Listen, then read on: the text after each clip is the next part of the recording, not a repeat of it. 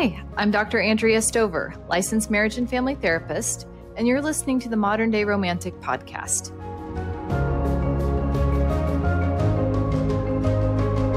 Hi, everyone, and welcome to today's episode. Today, we are going to dive into the concept of twin flames. Now, twin flames is this ideological notion that one soul or one spirit is split and incarnates into two bodies.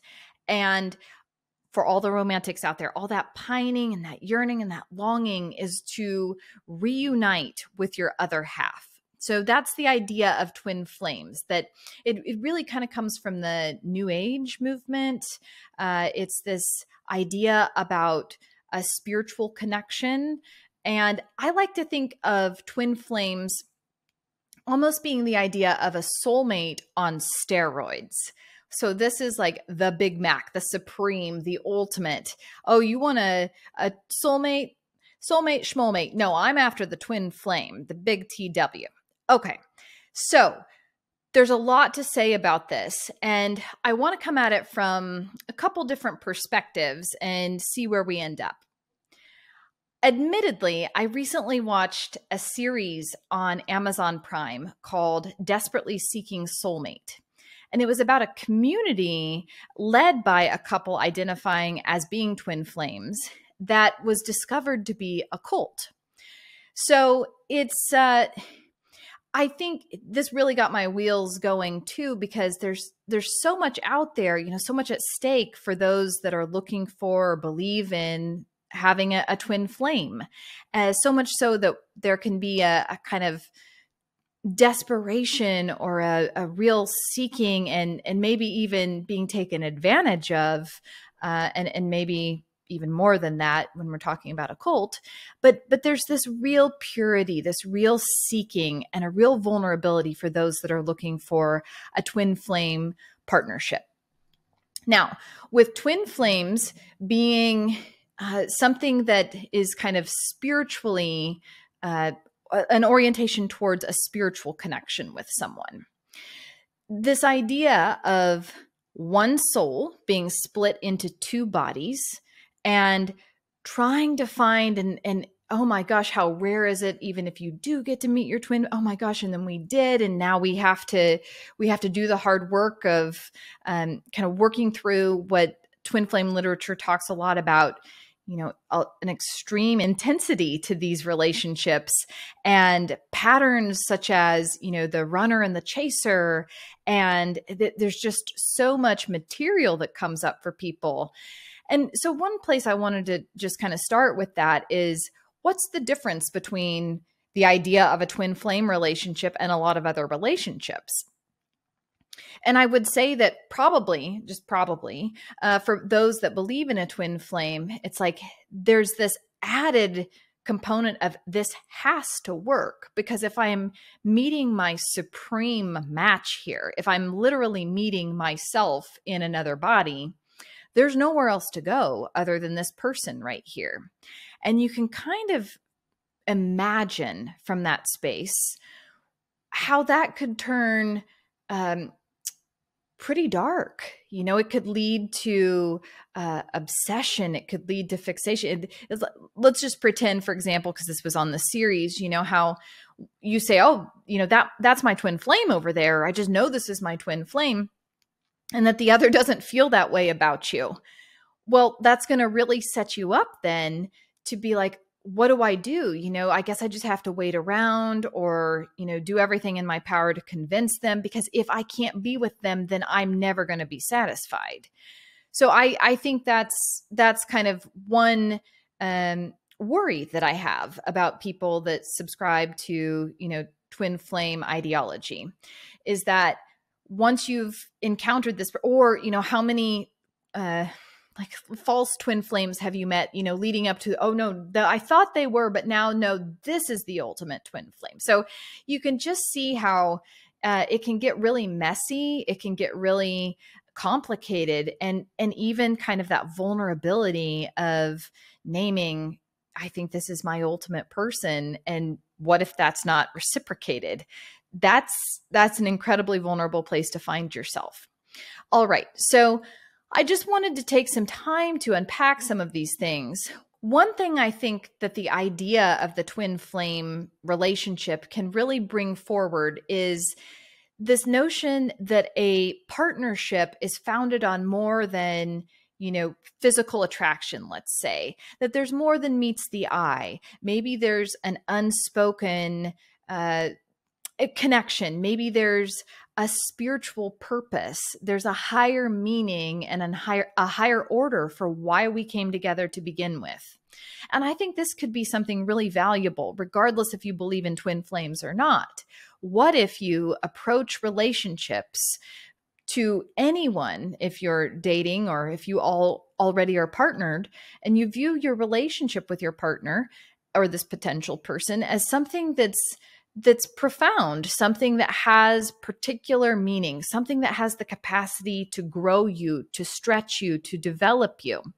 I think this could be a really powerful and and it kind of helps broaden the perspective rather than it being so limited, you know, like uh, I'm looking for someone who meets this criteria here and I want to have a family and I want to do this and I want to do that and da da da da.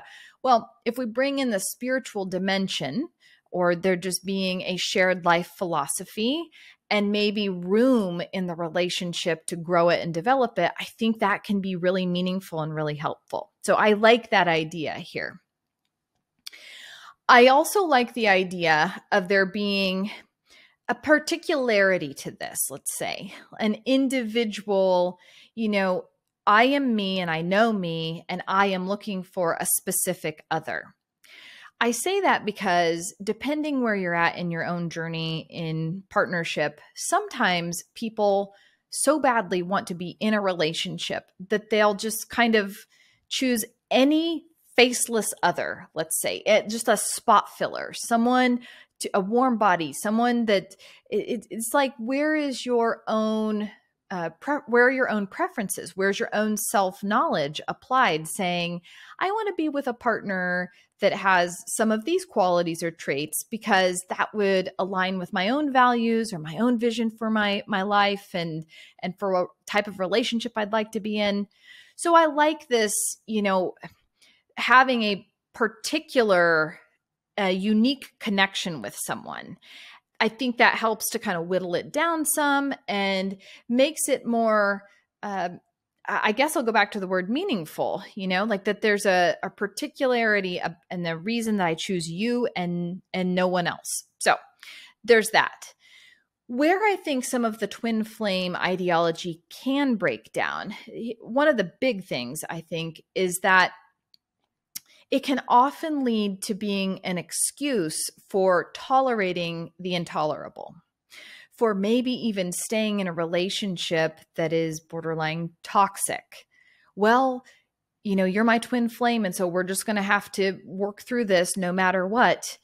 And I think sometimes if we surrender or kind of throw things, um, not caution to the wind, let's say, but just we kind of throw it all out the window because I'm with my twin flame and that was the goal and so we're here we're together. And and so it doesn't matter that you are every night you're yelling at me. It doesn't matter that you slapped me. It doesn't matter that you know we break up every 5 days. It none of this matters is because we're twin flames. So i think this could be a shadow side of of kind of subscribing to twin flame is that we cling so tightly. It, it has to be this, and, and you're the only one I can be with. And therefore, where are the boundaries? Where are the lines? Where's the choice? You know, it's it's almost like the shadow side of having a fated relationship or believing you're you're fated to be with someone means that you're surrendering your own individual agency and ability to choose sometimes. It's like, well, God or the universe or, you know, my higher self chose this for me. So I just kind of got to go along and I just got to trust all that. I think that the real work, the, the, the whole uh, notion in, in kind of personal growth and self development is finding a way for the spiritual part of ourselves or maybe the transcendent part and the individual human part to come into relationship with one another. And so we can't just kind of I, one of the terms we could use is spiritual bypassing. We just throw it out up into the heavens and into the stars and just say, well, it's all meant to be. It's all going to be. When when we're really having to kind of walk around with blinders on like this is this is not really doing the work. So i hope that makes some sense there. I thought those were some really important things uh, to to highlight and to spotlight in you know all of the the layers to twin flame relationships and ideology. The next thing i wanted to say about it that i also think may be a bit of the the missing link. Here's what I think could be really really interesting is Carl Jung had a theory around the process of individuation. And what this was was kind of a, a laid out trajectory of becoming the fullest expression and the highest expression of your whole self. So within this, there's the confrontation uh, with your shadow material. There's meeting your opposite, uh, often through partnership. You meet an inner opposite outside of yourself and you work to uh, integrate and claim parts of yourself that you simply can't come into contact with if you stay you know closed off it, it takes a relationship to kind of stir the pot and get that material going so I think he and there's there's several other things that that he talks about in this journey. But one thing I think that is really helpful to consider when we're talking about twin flames is okay, let's let's play with this then. If you really are meeting an aspect or a component of yourself outside of yourself, all right, do we need to literalize that or can it be played with more symbolically? Maybe you did meet a version of yourself when you met you know your your twin flame or, or your partner or whoever this this individual is. But maybe it doesn't mean what you think it does when you say that. So here's an example. What if you by nature identify as being a generous you know loving kind sweet person and your lovely twin flame is someone who may you may perceive as being more selfish and um, more concerned you know just about themselves. They're not really as empathetic. They're not as uh, conscientious in some ways. Well maybe you need to meet someone who's different from you and maybe even an opposite in order to come into some of those own, some of your own qualities uh, that might be similar to that. So what that would look like is they are making you confront, you know, where does you know selfishness live in me? Well, no, I'm not. I'm overly generous. I only do this. I this is who I am. I I'm not like that. I'm like this. But I think that they might be challenging you to find some middle ground there. So, where's your own sense of self assertion? Where's your own sense of boundary? Where's your own sense of individuality? Or are you a people pleaser? Are you an overgiver over here? So sometimes we meet someone who seems like our opposite so that they can reflect something back to us that we can hmm, sit with. And it doesn't mean you have to then become like them. It just means finding the the middle ground between maybe you're one extreme over here and they're the other extreme over here. Well, the resolution will never be to become the opposite. That's not going to work. And they're never going to become your opposite. That's not going to work. What what if we find kind of a different way of being to integrate the opposites or find a middle way? So this is one thing I think with the twin flame if you're meeting yourself on the outside and if you have this, you know, mysterious connection or this uh, transcendent you know way of maybe even you feel you can telepathically communicate with one another you can just anticipate what the other is going to say. I guarantee there's going to be differences there and those differences might even seem like polar opposites and in meeting someone who has differences from you, it's an opportunity to come into relationship with difference within yourself.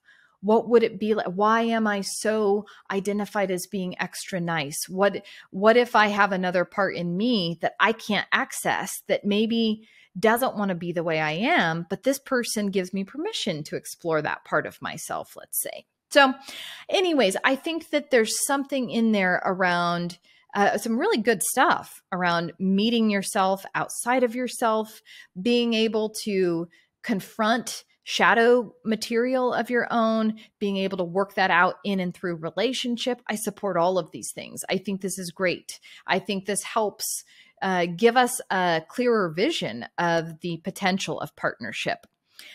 I don't think that it means staying in opposition and you know staying it sure doesn't mean staying in toxic or abusive or really dysfunctional patterns with one another because we uh, you know just have this these intense outbursts or meltdowns or it's just it that that might be something else going on there. So that's a real shadow to the twin flame uh, idea for me.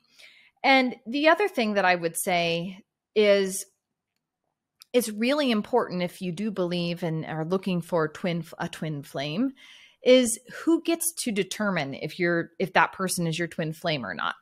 So when this occurs, you know, it's how do you know which part of you is saying, "Oh, this is my twin flame?" Is that your fantasy or idealizing part? Is that your inner romantic who's just so desperate to find someone that, and not just, you know, someone, but like this ideal version of a love for you? what if the person that you think is your twin flame doesn't feel that way about you? Then what? So I, I, maybe there's some growth in that for you. For example, it doesn't necessarily uh, translate. I don't think even if you really believe in that, that you are therefore not going to be satisfied in any relation. It's impossible to have a relationship with anyone else or anything like that. I think there's a lot to say around this twin flame, and I think there's something interesting in there around the idea of meeting a part of ourselves outside of ourselves. That to me, from a depth psychology or psychoanalytic perspective, is true regardless of if you say, Oh, I've met my twin flame or not, because we're always meeting more parts, more. Uh, more shadow material in any relationship we have. It, it's there, it's there. And we need the other to kind of bring this up and out and forward so that we can reclaim it and therefore have a, a conscious relationship with both ourselves and the other without doing that work, without reclaiming what we're projecting onto someone that's actually ours then we're not going to ever get out of those loops or those patterns and those dysfunctional breakdowns that can occur in a relationship because we're going to think that the power lives outside of ourselves. We're going to think that it's all, you know, because I can't do anything because you won't change. And that's that's not true. That I think it's probably if you're feeling something like that, then there's something inside of you that would need to change as well. So, I hope that for anyone interested in twin flames, this gives you a little bit more to think about. Even if you're not interested or don't subscribe to the notion of twin flames, there's still something in there, a, a kernel of something, I think, to really reflect on as far as, you know, what if there is more meaning and maybe a higher purpose to a relationship for me? That doesn't need to be a twin flame, or you don't need to put that out there, put that on someone in order to have that as an experience. And I think that if someone is not coming at relationship from that transpersonal perspective, looking to learn, you know, more wholly and fully about themselves and explore the potential and the the beauty of what a, a partnership can actually hold, then maybe there's something here to be inspired by or reflect on, which is, hmm, uh, yes, maybe this is the exact catalyst relationship with another to come into myself more wholly and more fully. All right. Well, I'd love to hear your thoughts, your own ideas, your take on twin flames. And uh, yeah, I will see you next episode.